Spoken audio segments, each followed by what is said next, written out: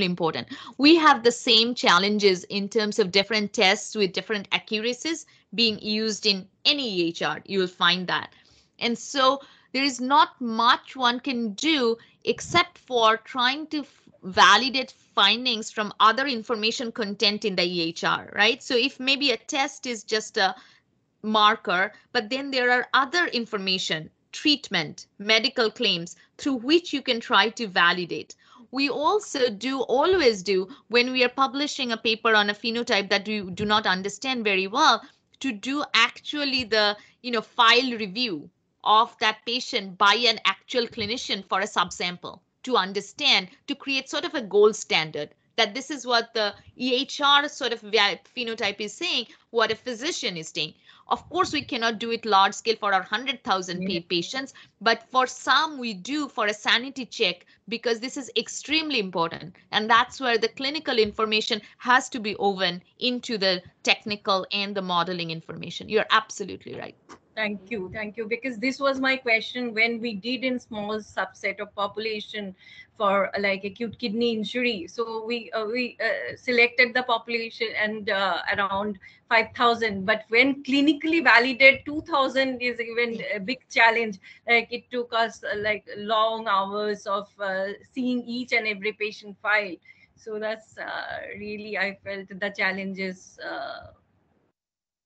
yeah, so so what you can do, what we often do is to incorporate that phenotyping error that we find by comparing that subset into our final inference. So our confidence in the estimate goes down and the confidence intervals become wider and the odds ratios become a little attenuated because we are not as confident. We assume that there is a measurement error in the phenotyping. So we can articulate those errors by doing the kind of validation study that you are talking about.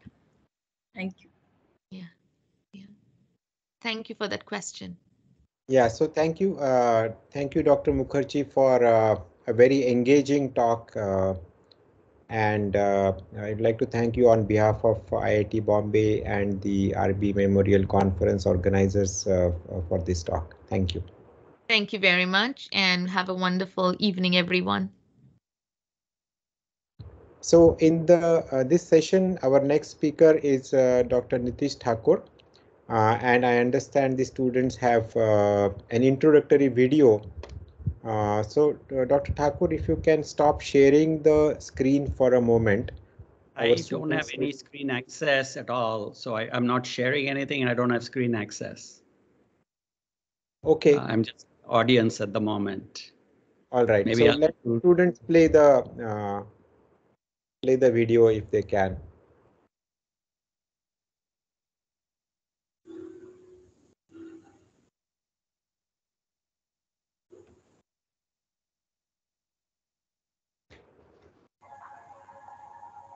Ladies and gentlemen.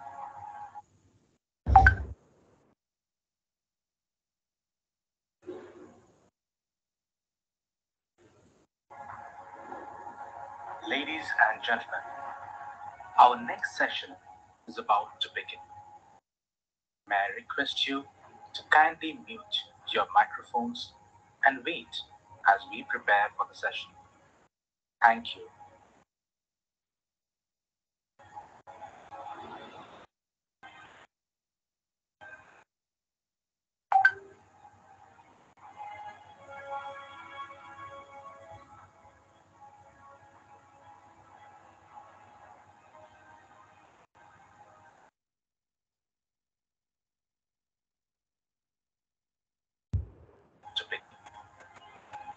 Request you to kindly mute your microphones and wait as we prepare for the session. Thank you.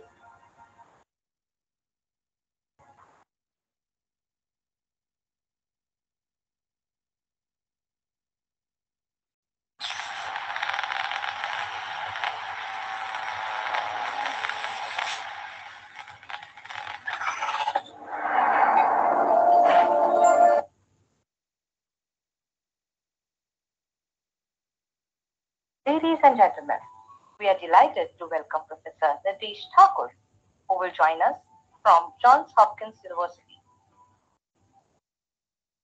Professor Nitish Thakor has a PhD in electrical and Computer Engineering from University of Wisconsin. His research interests are medical instrumentation, neuroengineering, neural signal processing, and clinical instrumentation, micro nanoscale sensors, devices, and systems. He is currently the editor-in-chief of Medical and Biological Engineering and Computing and was the EIC of IEEE Transactions on Neural Systems and Rehabilitation Engineering from 2005 to 2011. He is a recipient of the Award of Technical Excellence in Neuroengineering from IEEE Engineering in Medicine and Biological Society and Distinguished Alumnus Award from Indian Institute of Technology, Bombay, India. Ladies and gentlemen, please join me in welcoming Professor Nitish Thakor. Thank you. So uh, we will uh, so the uh, organizers, do you know how to uh, allow Professor Thakor to share his screen?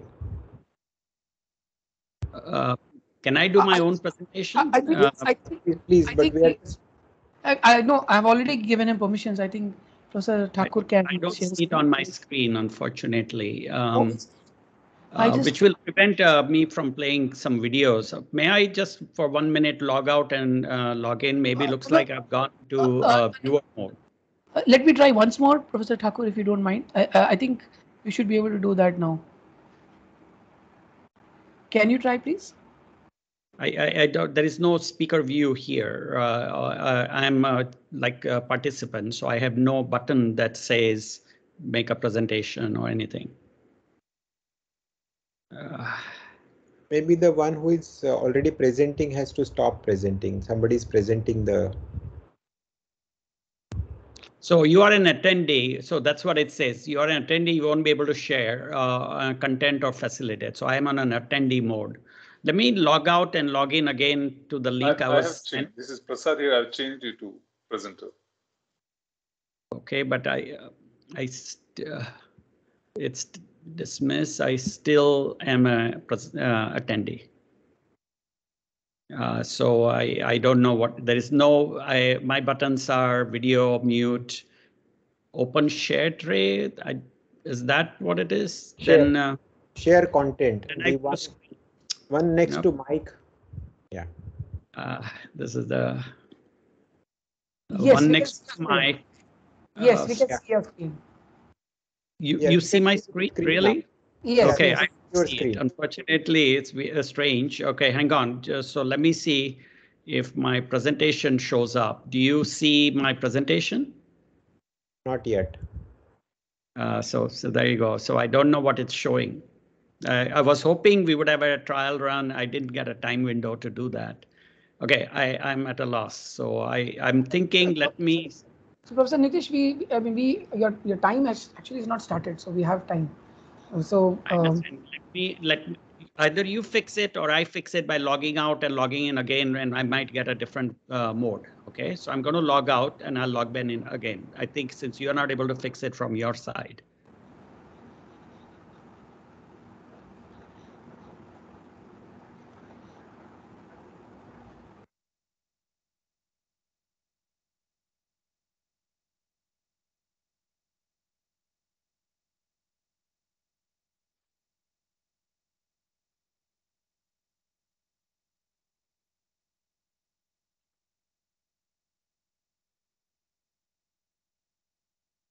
Again, um, I will see, um, do I go to open share tray? It says only meeting organizers Yes. and presenters can share. So do I, do you see anything? we see a blank screen like before. I'm not clear why. Exactly. So I, uh, you know, I do, I have no idea what to do here. So we can, then we will miss the video and we can just, in the interest of time, get on with the slideshow I've sent. Uh, which I'm fortunate that I did. It's unfortunate some of the videos were more useful. Uh, is it okay if I play your video? I have your PPT. I can. No, no, no, that one doesn't have it. These were videos from uh, internet just to make a point, but uh, let's just go ahead because uh, you, I, I don't have a presenter mode. That's all Can I you can try tell. once more? Can you try once more? I don't. You see, what I have is camera off, mute, and stop sharing, but I don't see any share. Uh, That's the thing, you know, and then more actions and all those things. So um. I go to full screen. Um, yep, it's still, you know, like Zoom or anything. Normally, I should be getting a, a my own presentation, which is on the desktop and open right now. So.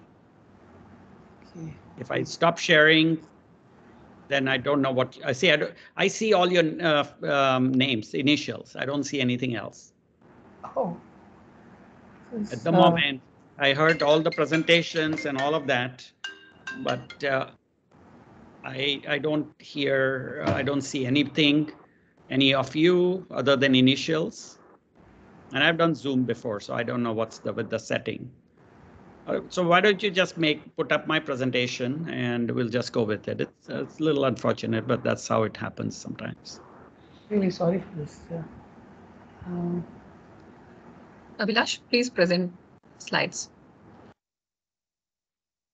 Okay. It would be in future a good idea to give the speakers a trial run to debug it before uh, the events. Generally, I'm used to it and Zoom works much better than other options. Okay, so now I sort of at least see myself uh, and something. Uh, yes, okay, good. Um, so yeah, go into presentation mode if you don't mind. All right, well, so uh, good evening to you all and thank you for inviting me. I, you know, um, it's all of it is because of my association with IIT Bombay, right? So I continue to be very motivated and supportive of any activities going on on campus. And I kind of play that role in some departments or Koita Center, of course, and then um, when IIT Bombay Heritage Fund from the US side. So it's a privilege and I want to thank you all for that. So can I have the next slide, please? Yeah, and of course, this is important. Uh, you know, it's it's an incredible privilege for IIT Bombay that um, the KCDH has been set up just the right thing at the right time. You know, priorities change, and this is a perfect timing in the era of digital health and global health uh, problems. And you know, seeing all the proposals and presentations even early morning, uh, you know, IIT Bombay is very beautifully positioned. So it's uh, it's going to be exciting years ahead. Uh, next slide, please. Next slide, please. Abhilash? Abhilash, can you move to the next slide? Yeah, please, you know, you'll, you'll need to move the slides, otherwise yes. this will, Okay. yeah, so please, okay, actually. you lost the slides now.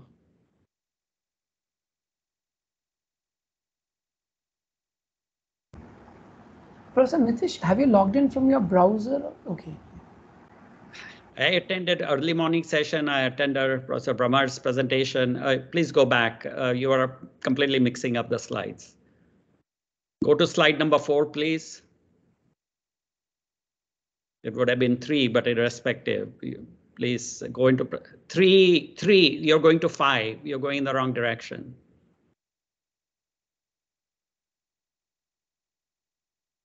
Okay, yeah, you know, I just want to give a little bit of background. Uh, I don't know if their audience has students or not.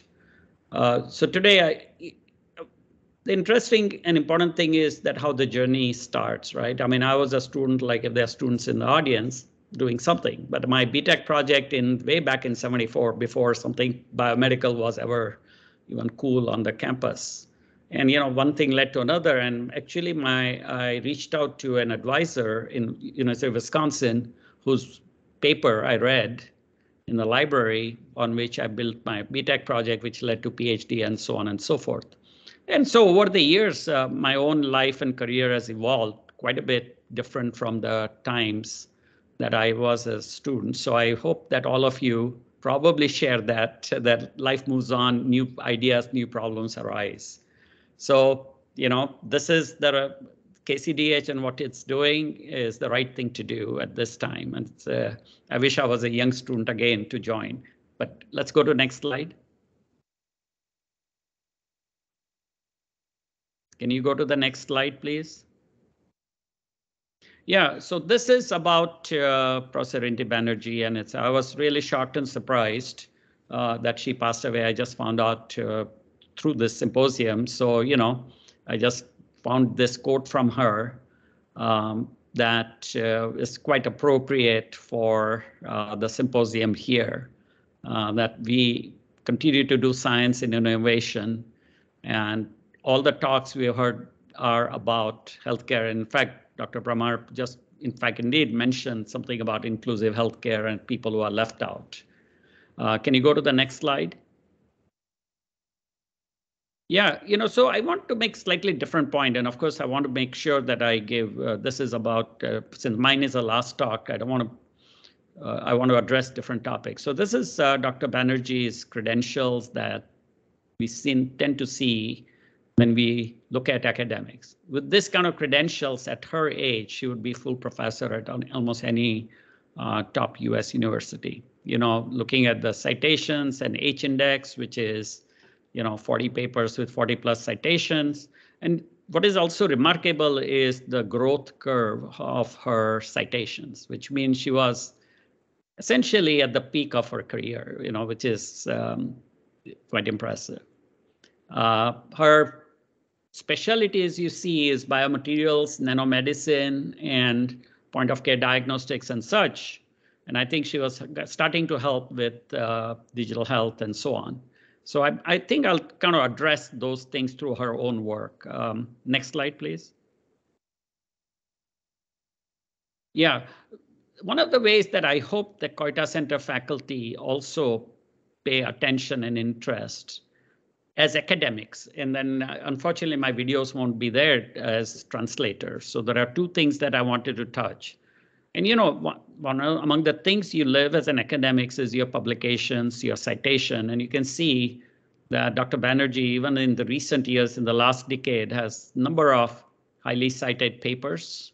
Uh, it's quite amazing to see such numbers in such a short time and in variety of important journals, right? Drug delivery to biomaterials and so on.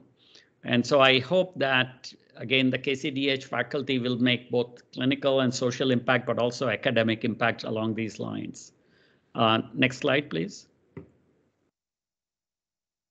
So I just took some example to kind of enlighten, and I mean, I'm generally familiar with a lot of the topics, although it's not relevant to this conference. But here is one of the very highly cited paper is about using biopolymers and hydrogels for cartilage tissue engineering. You know, cartilages are avascular and so some kind of, you know, they degenerate with aging even worse and other diseases. And uh, these kind of biomaterials, hydrogels and so on can serve as a way to treat the cartilage degeneration. And, you know, you see a little injecting inject, you know, injection device, which means you can even inject such gels, including maybe stem cells. So rather interesting and important work in the field of tissue engineering. Uh, next slide, please. This is uh, one of her papers about temperature target uh, sensitive magnetic liposomes for thermochemotherapy. And here is one of the uh, another again very impressive thing is the longevity of this work over the many more than a decade. You know, some other today citation index look at only last couple of years and which works for hot areas, but longevity is also important. It's something I hope the work done, some of the, particularly the mathematicians, statistician, computer scientists, you know, you don't get cited right away. uh, it's abstract, difficult material, but longevity proves your uh, expertise. Uh, next slide, please.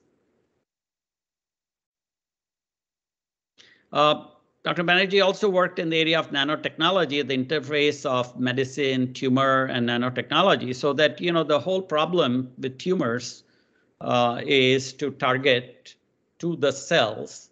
And how do you do the targeting? And so most emergent approaches now use some form or shape of nanotechnology, nanoparticles, biodegradable materials to get into the tumor. And they have to solve a number of problems. Unfortunately, I can't use the cursor, so you'll have to kind of view it that, you know, on the left side, you have to get it through blood vessels. On the right side, maybe use magnetic fields to push those kind of magnetically sensitive particles in there. And then there are a number of other ways to actually kill the tumor cells. Okay, so next slide, please. I just wanted to give a uh, introduction on this, but again, you see that Dr. Banerjee has number of papers, quite a few on the nanoparticle uh, for wound healing or tumor and glioblastoma and so on that I will discuss, and then later on some variable and implantable. But these are, what is remarkable is that these are 2022 papers. So that means her legacy is even continuing right now, which I find it astonishing and impressive. Uh, just these are the eight uh, refereed papers that I have found uh, just through a short review. So amazing. Uh, next slide, please. Okay, so now kind of getting in the talk, and since we're moving a bit slowly, I'll skip some things later on. But right now, what you're now seeing is that the past uh, or Dr. Banerjee's work, and I know a lot of that also has gone on at all institutions. Nanotechnology was hot, tissue engineering was really hot, and now it's digital health, right? I mean, science moves, hot fields emerge. And I'm going to make a case study out of glioblastoma. It's a lethal brain cancer to see if we can bring it all together. Okay, so next slide. And as I said, I may have to skip some things because we are moving too slowly in the slide shifts. Next slide, please. Okay, so part one is nanotechnology, and I see that Dr. Banerjee had a paper. It's a biomaterials, is a very well recognized journal about wearable and implantable devices for drug delivery, application, and challenges. So, you know, delivering drugs um, and that too using biomaterials has been an explosive field and uh, throughout the US and major institutions, you'll see bioengineering departments full of researchers working on this area. Uh, next slide, please. So representing what Dr. Banerjee did and uh, generally the field, it's about things like drug-eluting lens on the upper left-hand corner, lately become very popular, which may apply someday, who knows, for a certain type of uh, cancers and vaccines and such, is micro needle patches, which you see in the bottom. So that this is now way that glucose testing is being done. Um, drug-eluting stent on the upper right, uh, upper on the right side has become very much a commercial clinical business for uh, you know stents for the heart. Uh, next slide. Next slide, please. Yeah, so here again, going back to Dr. Banerjee, then, oh, can you go back, please? Yes. So, you know, she worked in the area of wound healing. So you can see that wounds uh, have to be treated and again, delivering uh, stem cells, nanoparticles, antimicrobial drugs, all of that is important. And on the right side, the review kind of captures a lot of buzzwords, but these are cutting edge materials that uh, can be used for a variety of uh, tissue engineering problems, including wound healing. And wound healing and angiogenesis, which is blood vessel formation, is very similar to what happens in cancer, which we'll talk about. Okay, next slide. Next slide, please. Yes.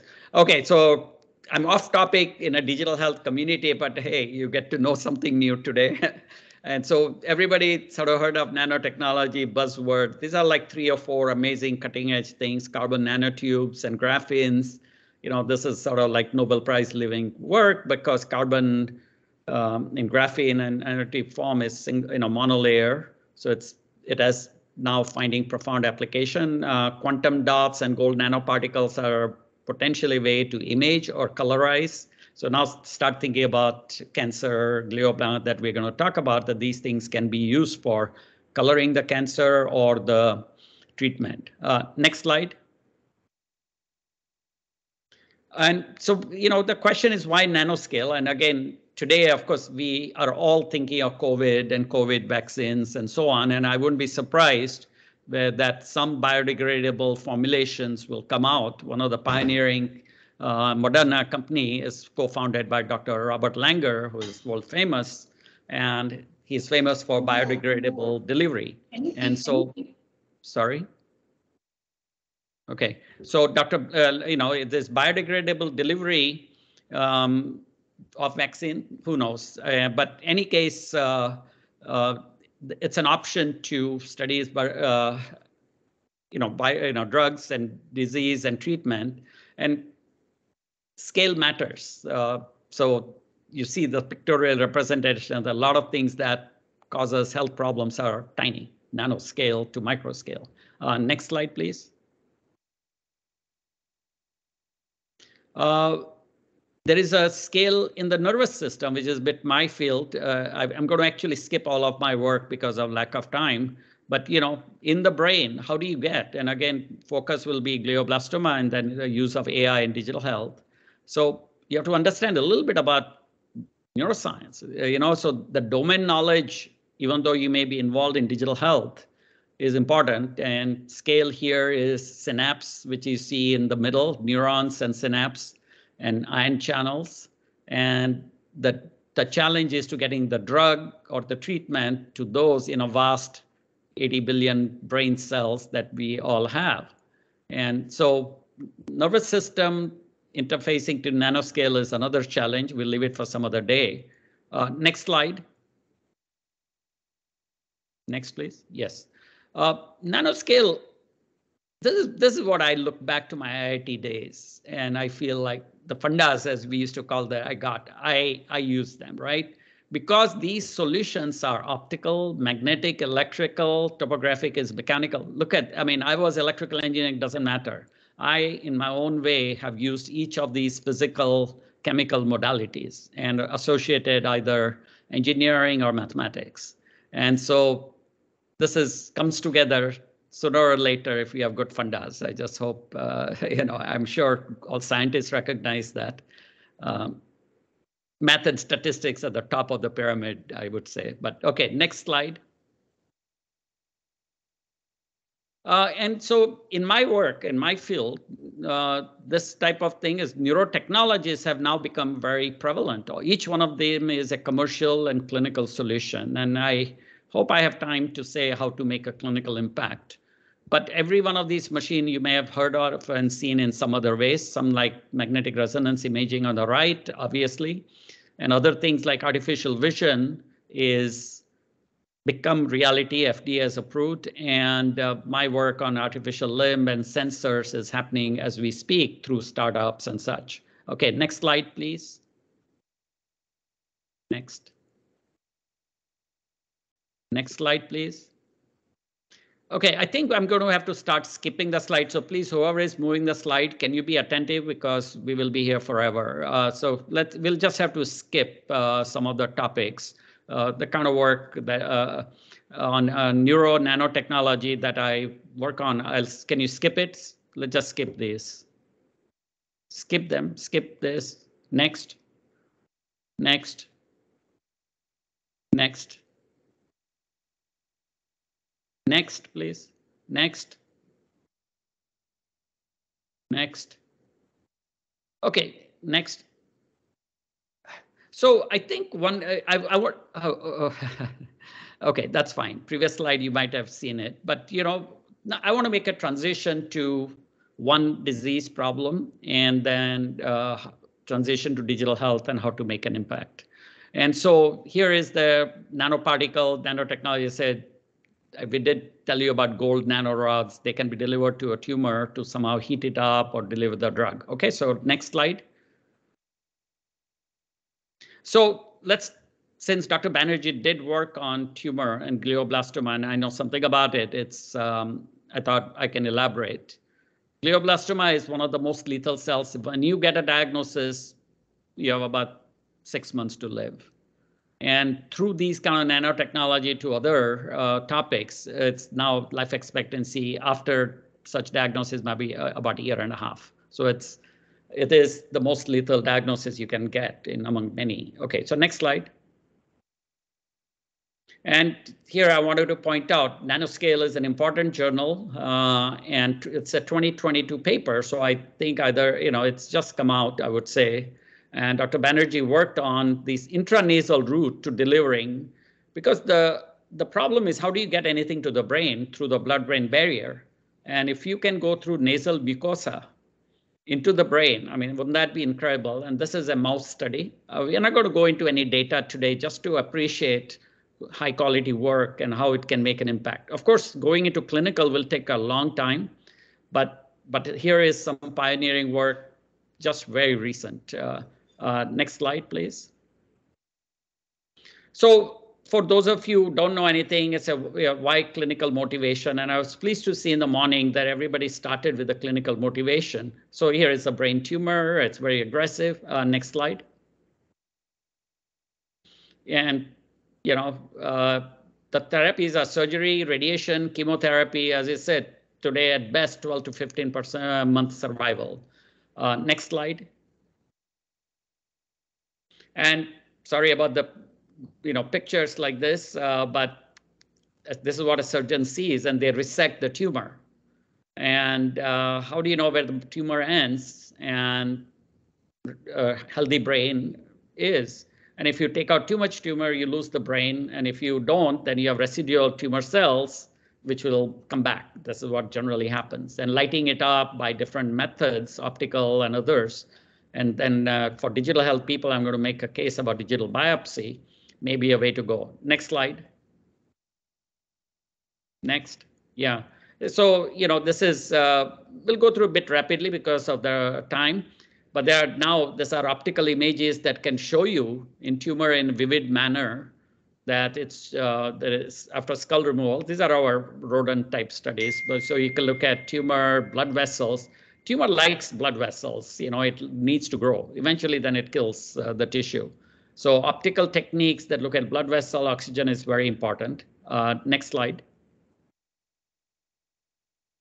And studies like this are done initially in mouse and rodent study. I'll skip it. Next slide. And you can see that if you do some treatments, such as with laser and nanoparticle, this little gray stuff you see is tumor and it is reduced. And of course, the challenge is how do you go from rodent study to human studies, which is a lot of the clinicians today would want to know, right? And that's the challenge of academics. So this is what I'm trying to use as an example of what challenges we're going to face is from basic study how to translate in a realistic time manner. Next slide. Uh, uh, so there are, again, a variety of ways to look at the brain and tumor using uh, optical and uh, looking at oxygenation in the brain and blood vessels in the brain. Uh, next slide. Uh, and then the, the, the key challenge a surgeon would face is where is the tumor and where is the healthy tissue? Like, is there a dotted line? And why am I even presenting it to this digital health community? Because I think that there's a, some degree of evolution and consensus that we'll need some kind of digital biopsies using AI machine intelligence method to do this classification. Um, the biology and materials has only gone so far. So next slide, please. Yeah, and so this would be an image guided surgery. You can see there is a tumor and you can see it's uh, gradually diminished. On the right side, you see that there are different types of nanoparticles and laser techniques do prolong uh, life. Now, in this case of a rodent, but hopefully it will apply to patients. So elongate the lifespan. That's what we all want, right? Uh, next slide.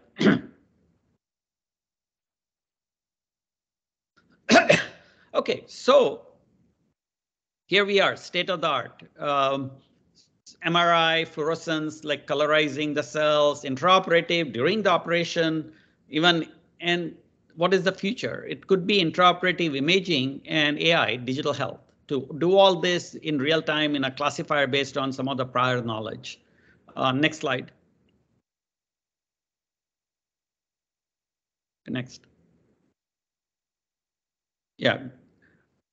and you know, this is one of our studies done in a rodent, but you know, you can see this little, just follow the little red circles that, you know, good microscopy, good imaging, you can see this evolution of a tumor's lifetime in a rat over 15 days. The trick to treating tumors is early detection. Is that in the number one or two dot the beginning of a tumor? Can machine intelligence pick it up? Uh, somewhere in the middle, it's really bright because it's there's a lot of blood vessel and oxygen that tumor has hogged. is, is that a region that we should surgically resect? Or towards the end, did we get everything out or did it spread and so on? So imaging has done its part. Nanoparticles and things have done their part, but we don't have the intelligence to deal with this. So unlike your large digital health problem, this is wonderfully constrained problem with animal model and a clinical model and life issues. And I hope somebody will pick it up as a digital health problem. Uh, next slide, please. Yeah, so this is where unfortunately my videos are would have been very useful.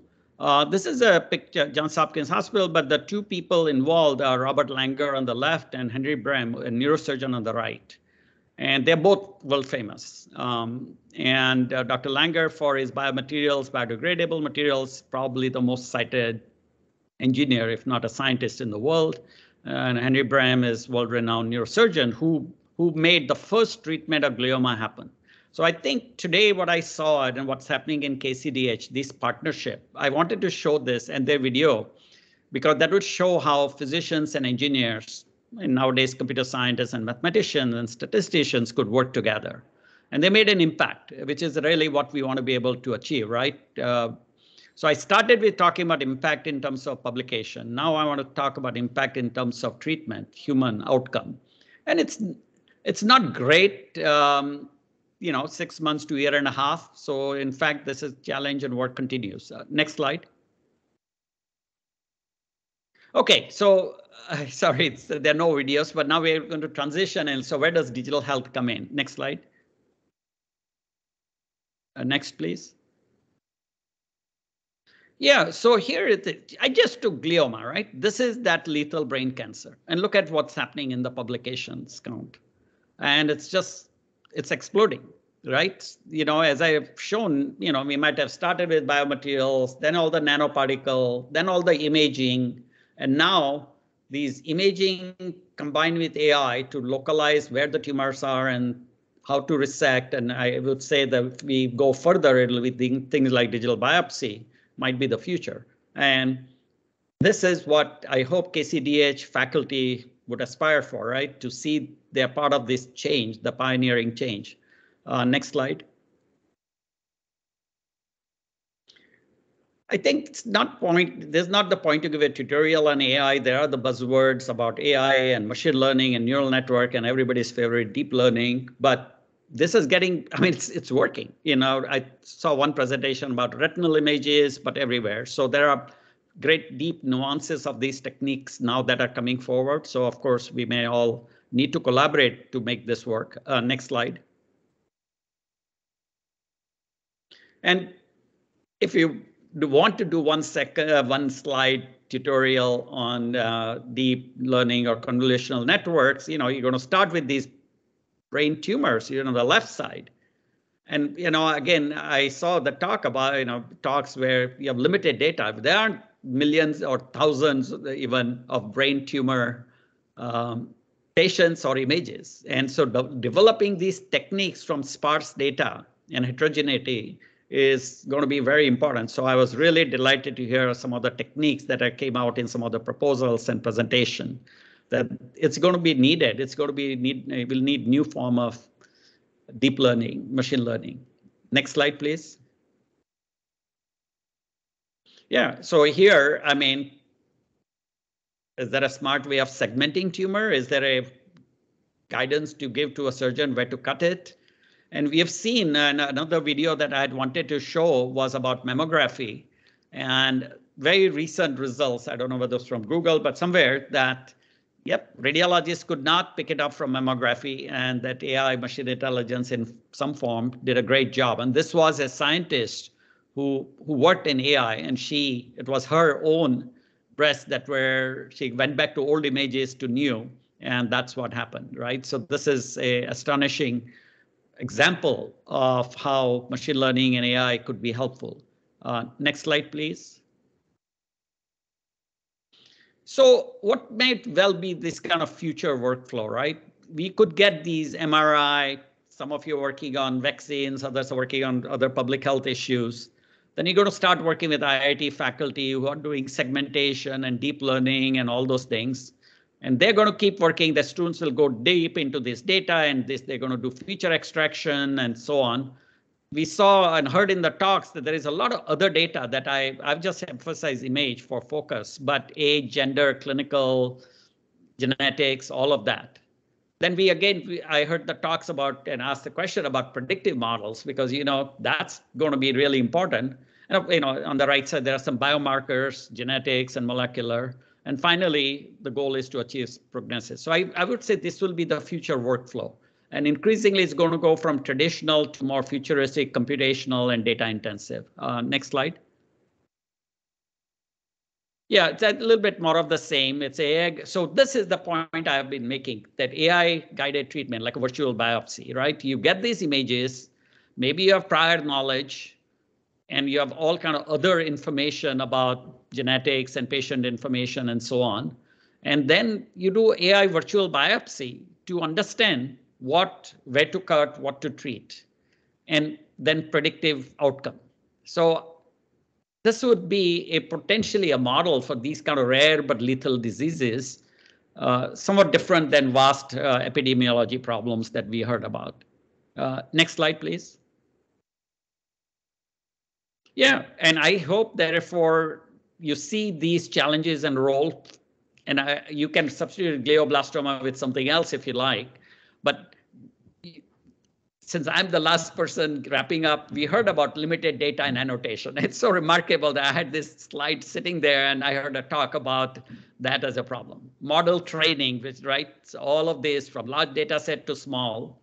And then we are, what has been most impressive for me and happy to hear how your faculty have reached out to the physicians in Mumbai, but also elsewhere to create these consortia so that they can create this standardization, benchmarking, uh, and annotations, and then eventual interpretation and treatment. So I think they, these are all three equal challenges I looking ahead. Uh, next slide. So uh, hit the return next one, uh, you know, just con it'll continue, add some text. So, you know, today I gave you, I started with nanotechnology, you know, maybe it was off topic, but I hope now you see it all come together that, you know, this whole thing about blood brain uh, barriers, targeting glioma cells, nanoparticles, nanotechnology, and I wouldn't be surprised there are people doing that in bioengineering and elsewhere. And now you are the new community who's into AI and digital health. So you could go into tumor margin detection, understanding angiogenesis, uh, and then develop image-guided virtual biopsies. And your challenge is what we saw in the last slide, data, models, algorithms, and clinical deployment. So perhaps my talk kind of pulls it together for you that cutting edge technology, because IIT is an engineering institution which is transitioning into broader topics. There's a lot of expertise along those lines and emerging and modern uh, computer science, AI, statistics, math people teaming up might is obviously the future. Uh, next slide, please. Uh, sorry, so we want a video. Uh, so I, I want to end this again in appreciation of Dr. Banerjee's work, which was inspirational.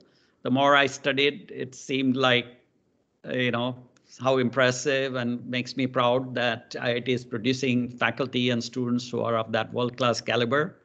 You know, some of the industry folks get a lot of publicity, but academics are the, you know, what made the institution. And of course, Koita Center and it's resources and now the benefit of new grants that are going to initiate a number of wonderful projects.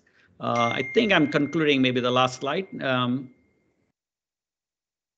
next, please. Yeah, so okay, so thank you. Uh, maybe I believe this is it. So if you could uh, turn the screen off and hopefully I we have a little bit of time left for uh, discussion or uh, on any topic. So turn the slide off, please. Yeah, turn that off so we can see each other. Yeah, okay. Well, uh, okay, looks like, yeah. So I, it's a privilege to be here and I'm delighted that things have taken off so well.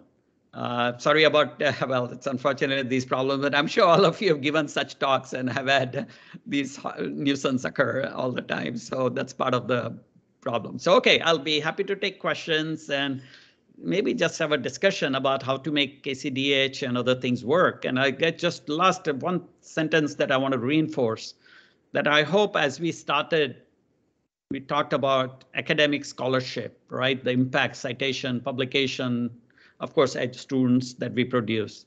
And then we ended up with impact on the health, right? Outcomes, delivery and outcomes. So I hope that we, we will make progress on both fronts. Thank you all. Thank you, Dr. Thakor. Uh, I think Ganesh has a question. Uh, thank you, Dr. Nitish Thakor. Uh, your, I mean, your talk is inspirational and also uh, mentoring. I think we're going to revisit several points you made through the talk. Uh, one question, you, you, thanks for bringing up that uh, uh, Gliadel wafer, for example, right? I mean, the importance of collaboration, um, uh, collaboration by design rather than in retrospect, right? I think that's very important. So I, have, uh, I, I, just want to add one more potential partner to the collaboration. You talked about, you know, uh, researchers in the engineering discipline and then medical practitioners. Um, I, I, feel there's also need to get the hardware manufacturers in here. You, for example, when, when you talk about photoacoustic imaging, right? DICOM has evolved as a standard for images. Um, however, when it comes to DICOM for path, uh, sorry, uh, standards or, uh, or for ingestion for path data, or in general, many new devices keep getting manufactured, new biomarkers come up. And then uh, the entire process of ingesting the data becomes an another area of uh, research or whatever right? So there's too much of uh, additional overhead that gets carried on if this, these are not thought out upfront. So isn't there a need is there an effort for creating such a consortium between hardware manufacturers medical device manufacturers uh, and medical practitioners and statisticians uh, data analysts um, has there been any such initiative anywhere uh, yeah, no, it's indeed an important point, and I, considering the audience, I didn't go into technology and in fact cut it out. The biggest problem, I remember my very early days trying to get the, any kind of brain data, and the companies would not. It's all proprietary and it's a black box, so you can't get the data out from them, and they treat it so much as a proprietary. So that's actually the biggest killer, and therefore some kind of a confidentiality agreement so, you know, we have very sensitive issues. Some of you have touched on patient record. Dr. Bhramar mentioned about it, uh, uh, uh, removing patient identifier. Others have trouble with patient record, which is a highly publicized. And now you bring up the issue of the hardware manufacturers, the MRI people, or whatever it is. How do you get data out of them without uh, confidentiality and so on? I think it's these along with regulatory are more intractable than almost anything else you can do. These are humans with selfish motivation. Sorry to put, use that word. Uh, perhaps the scenario, thankfully, thankfully because of innovation, there may well be an amazing startup coming out of SINE who is building a technology which then is emerging and your partner in that. And I, I see those consortia as valid although once in a while the big companies um, have found occasionally big in, institutional partner of repute. So Applied Materials has partnered with IIT Bombay in uh, IC chip, electron or design and all of that. So if you create this center of excellence where like where else would you go? That's why I'm excited about KCDH and the initiative that you become the go-to place because India is going to have the data and all those uh, the patients population. So would the manufacturer see the necessity to open up their little black box so that you can either access the machine because they can be very expensive so that you get some discounted access or access to the data? I think that I think the answer is still very rapidly become India class, if not world class, so that the manufacturers come to you. Thanks. That was very helpful, Nitish. Uh, Dr. Prasad has a question. No, I don't have a question. I just wanted to say thank you, uh, uh, Professor Nitish Thakor, for wonderful talk, as well as uh, I wanted to personally thank you for uh, talking about Rinti. I'm Rinti's husband. So thank you very much. Dr. Nishi, I also want to thank you for talking about the data efficient learning. I'll probably send out a separate email on that since I spoke about it. I'm very excited uh, that that we have struck a chord there. Well, you know, we all have our own specialty problem and we're not able to look out of that tunnel. But and other is our own expertise, right? In all um, humility, we can't pretend we know about everything. I work on, it's amazing, maybe it's later in my life, so these problems attract me. It's like coma and consciousness, right? So we do these studies in animal, we have patient data. How many patients am I going to study whose brain waves I can analyze to predict whether this person is going to be in permanent coma, is going to die, or is going to wake up? and it's all I have is brain signature, a lot of heterogeneous data. Same thing with glioblastoma, same thing. So there is a high volume, high epidemiology diseases like COVID and TB and all of those, malaria and such. And there are these low volume, high morbidity, mortality problems too. And I, I would say that what I see as an editor is this blind ma en masse publication that use popular toolbox of deep learning methods to a standard database of this or that or that and say, I got 85, 90% accuracy all the time in and I triage all of them. As opposed to these unique problems like that, that we heard some of them today, I don't want to repeat, but limited data, sparse, uh, heterogeneity.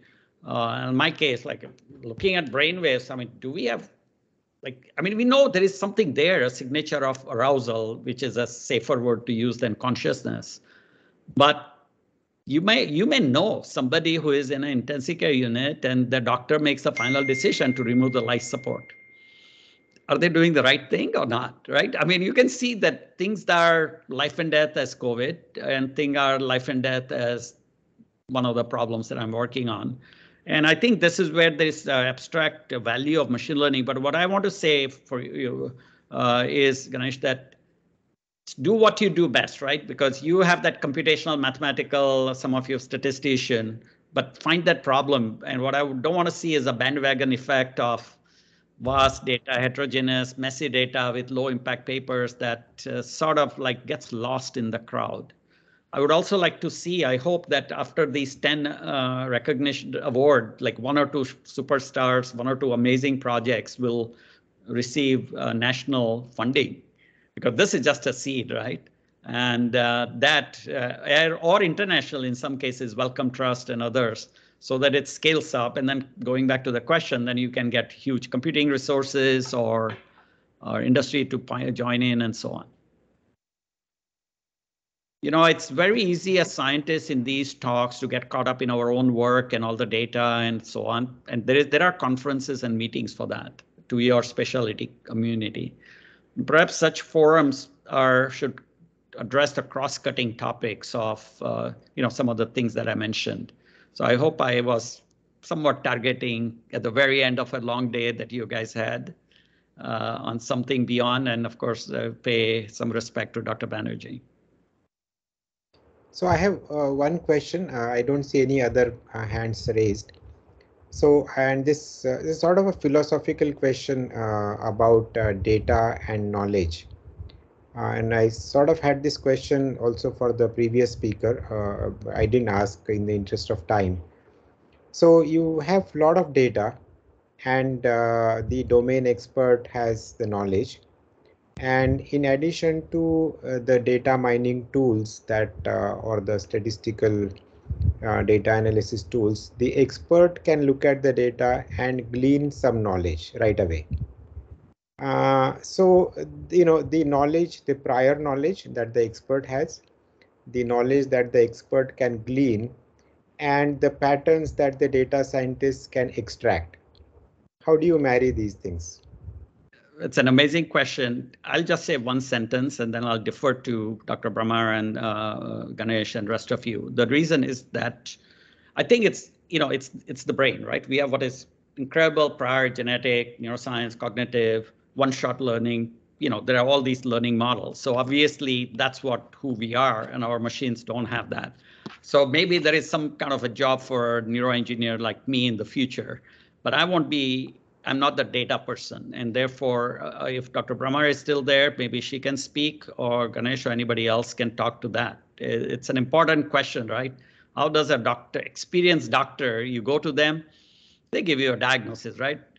Experienced GP, family practitioner, and the experts look through niche in tunnel, you know, you say, oh, I have a pain in my left side of my chest, and they think cardiologists think heart attack, and you might just have a pulled muscle, right? So I think that that I don't know if some I would rather somebody else give that answer uh, and have a dialogue or discussion. Uh, yes, just a very short answer. I think for a long time, this has been studied in the uh, uh, in the knowledge systems, expert systems area in AI, artificial intelligence, encoding human domain knowledge. Uh, what has not been, what yet needs to be significantly explored is how that can work with statistical models. the handshake is is probably the challenge because what happens is typically one overwhelms the other. The either the expert system, the rules, the first order logic, the theorem prover over, overwhelms the statistical inference model or the other way. So uh, finding the right balance, I think, is still a big challenge. Yeah, thank you. Uh, and I'm going to use my um, uh, my privileges uh, as the moderator to ask one more question. And since you are on the advisory board and there's a wider audience here, uh, and I would like to hear your views. So what's the role of the hardware in this? Because we certainly, uh, you know, are a little bit behind as a country in this domain. The latest hardware uh, in the biomedical engineering, even the smaller devices, the the you know the expensive devices and so on, the hardware and the expertise to use this hardware, uh, use and also maintain. So how important would that be in the kind of research that KCDH would like to undertake? Yeah, you know, we can always see these things as glass half full, half empty, right? We all have our um, challenges and certain benefits, right? Like going back data, India has millions, America has messy, non-documented, heterogeneous patient record. India arguably is way ahead in mobile phone than US, right? So, you know, it's somehow when a country puts its priorities together, certain ecosystem works. Yeah, so I think, for example, getting a private MRI machine at uh, on the campus may be difficult uh, versus Johns Hopkins Hospital, just with huge patient volume and its world-class reputation, you get latest machine from Siemens and GE and all those. So there are certain uh, disparities. We have used the word before. Um, and therefore, I think you to work with your disparity. Some of the things are great equalizers, right? So synthesizing nanoparticles, little microchips. I mean, some of these are actually, uh, you know, mobile phone and these technologies. Uh, th these are all great equalizers, you know. So, so in that sense, work with the equalizer. The second part is, which like, makes me envious, is the brain trust that you generally have access to. You know, your students are kind of paid for, they come on fellowship. Um, there's a increasing privilege and attention to um, uh, research. Well, your difficulty being at Johns Hopkins, clinical interaction access comes more easily to me, and you have to go all the way to TIF or Tata or wherever one of those private hospitals and such. So I I I I think uh, smart and alert people will create the local optimization. You know, we could always be wishful. I could have been, could might have been. I mean, there's a generic answer, collaborations. I mean, that's uh, easier said than done, but this is what is impressive of the proposals that came out within relatively short notice that at least people pitched a bunch of collaboration. So that kind of starts solving some of the problem. Uh, you, you know, you, if you are really good, IIT Bombay Heritage Fund and if you have a consensus high impact quality pitch, I think there are some alumni who might donate. They tend to donate a building because they can put a name on it, but some might donate a machine, you know, right? Something if that's a privileged necessity, if that can be communicated and articulated very well, right? I mean, if IIT Kanpur is going to get the entire medical school with massive amount of fund infusion, we are talking about something different scale. But otherwise, yes, there is a certain specialty shifting of priority and your self-optimization that's going to occur because those kind of people will come on campus knowing that they can still work in the ecosystem. My impression of our decades of interaction is how do you, I think that's a non-issue. The issue is how do you keep that fires burning? You know, like young faculty to senior, how do you keep the fires burning and not, of course, drown senior people into bureaucracy and admin, and junior faculty with drowning them in teaching. You guys, you should start thinking about that internal efficiencies of human efficiencies.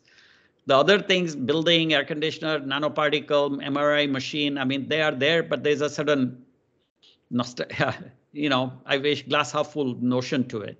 So, you know, my mind is looking at the university, having dealt with directors, our faculty alumni network is seeing something different than you are seeing.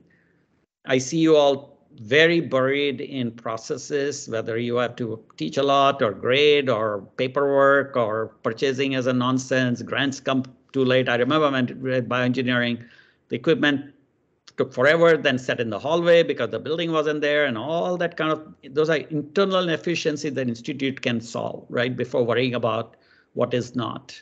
And other is, you know, tapping your tremendous manpower, um, which is both students and now the faculty who are significantly research minded than my era, right? So I, I'm inclined to shift focus on something else. But your question, I, I empathize. Hey, you know, I sit here and I think I've never seen a director coming in telling, I mean, okay, be, I have to be careful. I said, well, we are sort of short of money or government support. I mean, yes, you always are. But amount of brutal competitiveness on grant and funding that we see in US and elsewhere, you don't have to. I have to spend every one of my students, right? So glass half full, half empty is everywhere. Uh, you know, find your optimization, you know, and reduce your um, bureaucracy. I'm sure US faculty realize the non-stop bureaucratic paperwork, email, grading, teaching, purchasing committees drown you out. I I bring 80, 90% of my salary through grants. I have hard any distractions are self-brought. I bring it upon myself because I want to do this and I want to edit and I want to run this and I want to be curiosity wise. I'm in a committee. So I think if you could, uh, but I pay high price in terms of I'm like my age. I'm more productive and more energetic than my youth. So keep the fires burning for all of you, you know, and reduce the efficiencies. Uh, I mean, improve the efficiencies. So focus on that is what my, this, you know, distant view about it is. I'm sure, and I know, I know, I'm sure. I think talk unlike many of your donors and alumni who don't understand the life of a faculty. I know how that is. So I, I, I want to pitch on that side of it to how to improve the life of a faculty so that they have that fires burning forever. Yeah. Yeah. Thank you. Yeah, I think you have you have hit the uh, hit the nerve. So we'll probably have a bit more discussion on it uh, internally. Yes, indeed. Thank you, Dr. Nitish. Any any other question before we close? I think they're waiting for a validatory closing session. Okay. Uh, uh, so Professor Nitish, could you also join? The link, I will stay on. Uh, I don't know how the joining works, but thank you okay. all for the invitation. Let's go. Let's stay on schedule. Yeah. Thanks. Thank you, Professor Nitish Thakor, for uh, a very interesting talk. Um, uh, we all really enjoyed it. Thank you. Thanks. I have pasted the validatory section uh, session link in the chat box. I think Professor Nitish is not able to view the chat, is it? Uh, okay, I will share him an email. Everybody can see the chat. Yeah, I think I have it. Yeah, yeah. Okay. So that link you can. Otherwise, click. I will send him an email. Yeah. Thank you. Thank you. Thank you. Bye bye. Thank you, Professor Pramod. Thank you. Thank you, Professor Ganesh.